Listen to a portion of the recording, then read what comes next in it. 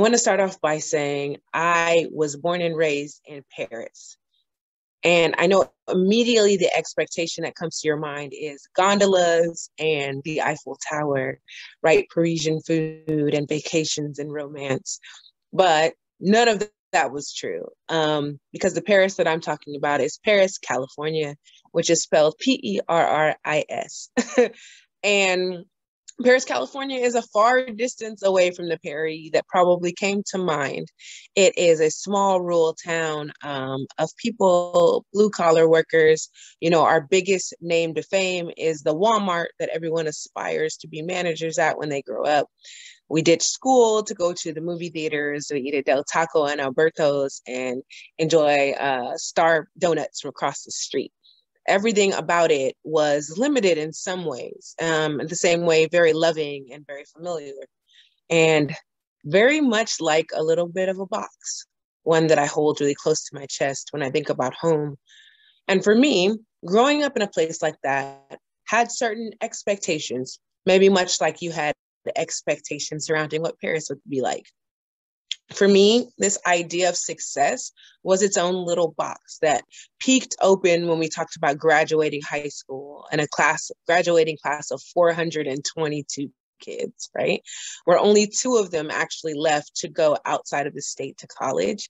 And most people stayed at home um, taking courses to become teachers just to reinvest themselves back into our normal high school that kind of everyone went through, one track. And all of those things are really beautiful for a lot of people. There's an aspiration in managing a large chain store. There's an aspiration in finding a way to give back to your community on a very local level. And teachers, of course, are admirable. But for me, there was something inside me that wanted something else that was odd and different that most people saw as being too big, maybe, for the walls of Perris, California. Most of my friends still live there with their families or nearby areas just outside Los Angeles, and they live happy lives. And so I don't want to diminish that in any way. I also know that for me, from a very young age, there was something else that I wanted. And maybe it was my father's voice always whispering that I could be anything that I wanted to be, even if it was an underwater basket weaver, as he would often say. Or maybe it was my love of big stories like the Chronicles of Narnia that cast me into far off places through a wardrobe that I could wander off and become somewhere brand new. I found myself carrying a notebook at a very young age. I mean, younger than I can ever imagine or than I cast that my children even do. My mom says when I was four, instead of carrying around a stuffed animal, I would carry around a spiral notebook and a pen to write with. And that I would scribble down images and poems from before I could ever remember. People often ask me how long I've been a writer. I have no idea. But what I do know is that there is something in it that fulfills me like other things never would. And there's some way that I traverse the page and use it as a jumping off point into something that fulfills me in ways that no other career has been able to do. No, let's be honest, I've tried some. Growing up, my mom offered me the idea of being a lawyer. And I thought, what better to be, right? A high powered entertainment lawyer in LA where I could represent all of the stars and go all to the all the galas and the award shows and be ever present that I would be rich and drive a Jaguar S type in black with black leather.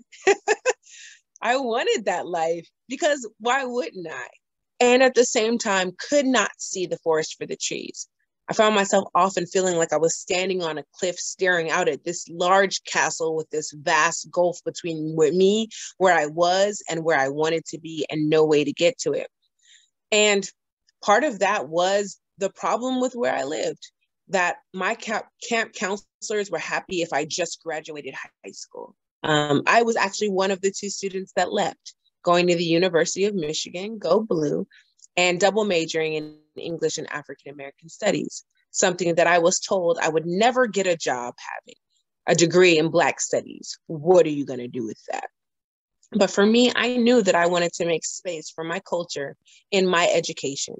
I knew that it was something that hadn't been afforded to me during my high school career and even times before that. And there was something in me that wanted to connect to a bigger understanding of who I was. So I invested my time in it. I went from performing at talent shows and winning trips to Disneyland in high school to performing on a national uh, poetry slam team for the University of Michigan. And people told me then that I wasn't going to be able to do anything with it. It was a great hobby to travel around performing for places like the Kellogg Foundation and being paid in brand cereal. You know, the dream of any college student is to be paid in food. but for me, I thought that it could parlay it into something else. So when I graduated, I ran into my writing in the ways that I was working with young youth at the time to figure out their voices and to develop programming at my local community centers. I knew that there was something more than just the writing and something more than just the community involvement that I knew I could figure out a way to balance. So when I moved here to Houston from California via Ann Arbor, Michigan, I wanted to continue in those same veins. I sought out places that were already working with young writers and I plugged into them. Um, I got a teaching certificate and decided that I was going to be a teacher and teach kids how to write. And though I was interrupted by a few standardized tests, I do really believe that I did that. I maintain great relationships with a lot of my former students. But for me, every turn I've taken has been some unexpected route whether it be getting up in the middle of the night and deciding I'm moving to Houston, Texas, 1500 miles away from my parents at the time, packing all of my belongings with no job, no home, and no path forward, and finding my way to Houston by God's grace alone.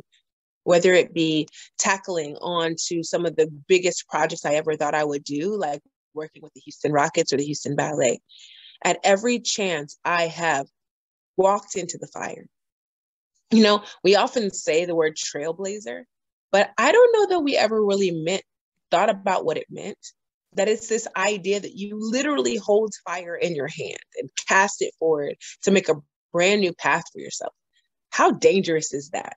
Risk it all to be burned by your own ambitions. But at the end of the day, there's something in that for me, many, many, many, many people told me that success for me would be money and be riches and be wealth, be fame and renown, would be something intangible. I remember going to a fellowship a few years ago where I was told as a writer that if I wanted to be famous, then I needed to get ready to die, literally die, that no one would enjoy my work until I was dead. And that if I wanted to be a parent and be a writer, I should know that I'm never going to be successful in the literary arts community. I laughed at both of these things in the same ways that people laughed at me when I told them that I wanted to be the poet laureate of the fourth largest city in the nation, or that I wanted to open an opera with Houston Grand Opera, the fifth largest opera house in Houston, in the nation. Both of those things I did. As the first Black poet laureate of Houston, I was able to create platforms for new voices to exist in this city. I was able to celebrate voices that had been doing work and existing. And more importantly than anything, I hope to serve as a role model for young writers who want to figure out how do I take all of this ambition in me and do something with it that no one understands. I'll tell you that most of my most successful moments had nothing to do with money had nothing to do with something I would write on my resume or my CV, but they have to do with moments just like this, where I'm able to encourage people to cast aside all the doubts they have about being the weirdest person in the room and run straight into the fire. This box of success that we so adamantly propose, this idea that there's only one way to be successful in this world, is so limiting it's such an understatement to all the creativity that you have in you and that I have in me. I remember winning uh, of my one of my first talent shows and being against all the dancers at my school, which I went to kind of a weird high school where the football players and the athletes didn't really get any love because our football team kind of sucked. But the dancers and the performers, they were the ones that kind of ran everything. So to go from being known as kind of the wallflower at the sock hop to being known as that poet girl who won everything at every talent show was a huge step for me and something that I count as one of my first successes. There's success that's waiting for you even right now as you sit wherever you are wondering, what am I doing? Why do I have this thing gnawing at me that I can't shake loose? A few years ago, I decided that I wanted to start a quarterly summit for writers of color here in the city of Houston. And I was so excited that I reached out to a few friends of mine and I partnered with places like Tintero Projects and Inprint and said I wanted to launch this huge thing under a new nonprofit organization. And while reaching out, and not to those organizations, but to some people in the community, one of the first things that I heard was, You're too small to do this. You should hand this off to a larger organization, one that has the administrative power and the knowledge to be able to make pull this off. They couldn't see what was in me, and that's okay. You know, not everybody is made to see the vision that's created in you. Not everyone can see the thing that you're working out in its full volume and bloom. And sometimes I've learned as a gardener, you plant a lot of things and you just hope that the sun makes them grow. But sometimes people don't want to buy into the sun and the water, and you got to do it on your own. Sometimes you have to force people into a new understanding of who you are. I look now at my mom this woman who so adamantly wanted me to be a lawyer because she told me that I could sell ice to uh, Eskimos at the time. And uh, she constantly tells me now how proud she is of me, how she doesn't understand how I've done anything that I've done, but that she stands in all of my work. That's another success I take, one that lives outside the box of this mainstream understanding of society. Now, when I say that I'm a poet, I would love to say that people fall over in amazement at all the things that I've been able to do with words, that they recognize my name in some huge magical way that New York Times bestsellers get to be recognized. But most people let their mouths fall open and gawk like an ellipses is falling off of their lips, waiting for me to acknowledge some real job that I have. And while I do serve as part of my time as a teacher for the high school for the performing and visual arts, I count myself an artist above all. When I sit down at night or I fill out a form that asks me what I do for a living, I write poet proudly because for so many people, that's not a job that they've ever seen in their communities. One that's been viable, that allows you to live and eat every day, to pay bills, and to be present with your family. I constantly write that I'm a mother and bring my children to events with me because it's important not only that they see me on stage, but that people see that they're there with me, that I have not sacrificed a moment to bear a family or to chase my career, and that both are counted as successes. Well, I teach with some of the best educators that I've ever met in my entire life. Being in the classroom wasn't going to be enough for me. I had to have a balance. So, whether it's making earrings in my spare time or playing classical piano that I've been doing since a very young age, whether it's writing or reading a brand new book, whether it's finger painting with my children. I find a space where I can find success in all of those things. I once wondered why I was wired so differently. At a young age, I did things like play piano and I danced in my local church. Um, I took photography with my father and sang with a local choir. And how do all of those things connect to me now being a writer? I didn't have any idea how that worked until the Houston Grand Opera reached out to me to write my first opera. And I found myself thinking of every image that I had caught in the in the camera, every song I'd sung with the Michigan Gospel Choir or other choirs, every note that I played on my piano in a back rehearsal room at Perris High School, uh, trying to figure out things by listening to them because I didn't know how to read music. And all of them converged into what I was able to create in Marian's song, an opera that is now actually up and playing around the city of Houston and is available virtually if anyone wants to see it. That for me was a giant step forward in showing that my work is not just a space where it lives in my body, but that it can live in other people's bodies too. That I can have a song written in my voice, the way that I can a scene, and the way that I can a poem.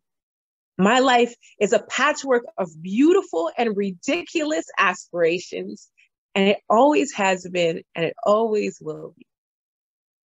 For me, people have always told me that I needed to somehow confine myself and be smaller. But the greatest joy has come in being as big as I wanted to be at every single moment. So I'm going to urge you to do just that. Take a big breath and think about all of those things that you've always thought were too big for you to ever accomplish. Write them down, even make yourself a list. I have so many lists around my house because I don't want to lose a single idea. And then quiet every voice that tells you that you can't do that, or that that's not big enough, or that you won't be a success. And if you don't have anyone else to look at, look at me because I was odd and weird and had a path that no one saw forward.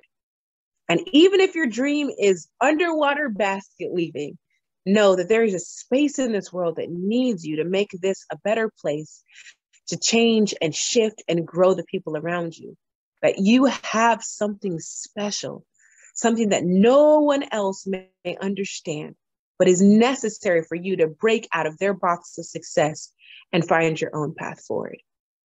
I'm wishing you the best as you take this new journey.